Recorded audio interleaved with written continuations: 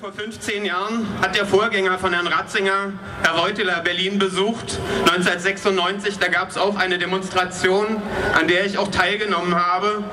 Und ich hatte mir kurz vorher überlegt, Mensch, du kannst da nicht einfach so hingehen, mal dir mal ein Transparent. Das habe ich gemacht. Ich bin dort angekommen am Winterfeldplatz, wo der Treffpunkt war. Und sofort stürzte die Berliner Polizei auf mich zu, weil sie das Schild entdeckt hatte. Ähm, hat dieses Schild beschlagnahmt und ich hatte eine Anzeige am Hals wegen Paragraph 103 des Strafgesetzbuches, Beleidigung eines ausländischen Staatsoberhauptes. Was stand auf diesem Schild? Päpste sind Mörder, stand auf diesem Schild. Warum stand Päpste sind Mörder auf diesem Schild? Wir wissen, 1981, vor 30 Jahren, wurde zum ersten Mal eine Krankheit diagnostiziert, die später den Namen AIDS bekam. AIDS ist eine Krankheit, die gerade in den Ländern Asiens, Lateinamerikas und Afrikas enorme Bedeutung hat. Und gerade dort richtet die Politik der katholischen Kirche, Kondome zu verbieten, enormen Schaden an. Nun denkt man, seit 1996 ist viel passiert. Leider nein. Erst vor wenigen Wochen, als die Mitgliedstaaten der Vereinten Nationen sich in New York trafen, um Strategien zur AIDS-Bekämpfung zu verabreden, ähm, wurde eine Resolution verabschiedet und der Vatikan hat gegen diese Resolution Widerspruch eingelegt und ich möchte aus dieser Erklärung, die dort verlesen wurde, zitieren. Das ist jetzt ein Zitat. Der Vatikan unterstützt nicht den Einsatz von Kondomen in der sexuellen Aufklärung und für die HIV-Prävention. Anstrengungen sollten sich darauf konzentrieren, die Welt nicht zu überzeugen, dass, dass gefährliches Verhalten Teil eines akzeptablen Lebensstils ist, sondern auf ethische und empirisch bewiesene Risikovermeidung. Was das ist, kommt jetzt. Die einzig sichere und total verlässliche Methode, einer HIV-Übertragung vorzubeugen, ist die Abstinenz vor der Ehe und Respekt und gegenseitige Treue in der Ehe, was auch immer die Basis jeder Diskussion über HIV-Prävention und Unterstützung war und sein muss. Mit anderen Worten, das Zitat ist zu Ende, mit anderen Worten, 30 Jahre nach der ersten Diagnose von AIDS, nach der Infektion von Millionen von Menschen in der gesamten Welt und gerade in den Ländern der dritten Welt, wird diese tödliche Propaganda durch die katholische Kirche weiter vertreten und verbreitet. Ich will es gerade daraus sagen, der Spruch Päpste sind Mörder, den ich damals auf ein Pappschild schrieb, ist nach wie vor aktuell.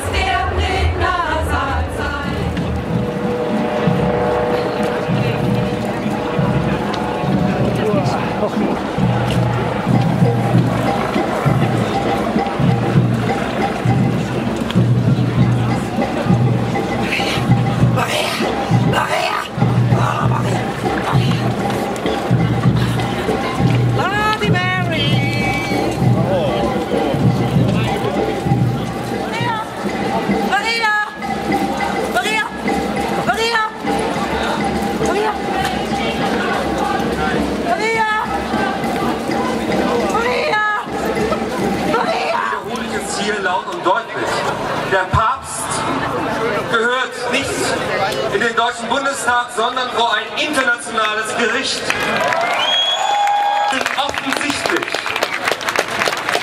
XVI. ist das Oberhaupt einer Institution, die in den letzten Jahrzehnten Menschenrechtsverletzungen an Hunderttausenden von Heimkindern begangen hat und unzählige Fälle von sexueller Gewalt vertuschte. Er ist verantwortlich für eine zynische Sexualmoral, die Millionen von Menschen weltweit diskriminiert, das Problem der Überbevölkerung verschärft und die Ausbreitung gefährlicher Krankheiten fördert. Er ist absoluter Herrscher eines Staates, der sich der internationalen Rechtsprechung entzieht und bis in die jüngste Vergangenheit hinein Milliardengeschäfte mit der Mafia machte. Er profitiert von verfassungswidrigen Privilegien, die sich die Kirche durch die Unterstützung faschistischer Diktatoren gesichert hat. Dass der Papst heute als Staatschef gilt, verdankt er Benito Mussolini, dass die Kirchensteuer in Deutschland vom Lohn abgeführt wird, Adolf Hitler. Man muss nicht auf die dunklen Zeiten der Hexenverfolgung, der Ketzerverbrennungen zurückschauen, um zu erkennen, wenn es Schurkenstaaten gibt, meine Damen und Herren, dann gehört auch der Vatikan auf die schwarze Liste.